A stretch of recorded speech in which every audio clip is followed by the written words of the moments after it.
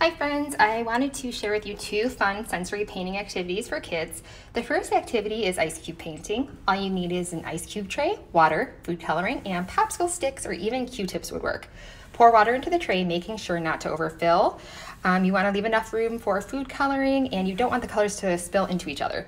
Add your food coloring. The more you add, the more vibrant your ice cube paints will be. Once you've added your food coloring, you are all set to put your tray in the freezer.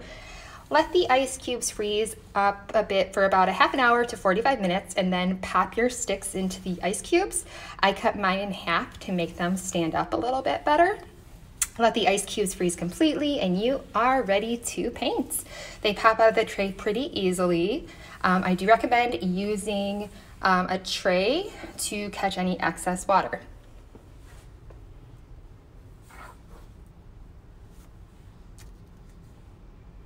And next up is a super simple activity that is pretty much no mess, painting with water on construction paper. All you need is a brush, water, and construction paper. Once again, I recommend a tray to keep the water contained. So thank you so much for joining me and I hope you guys have fun trying out these activities.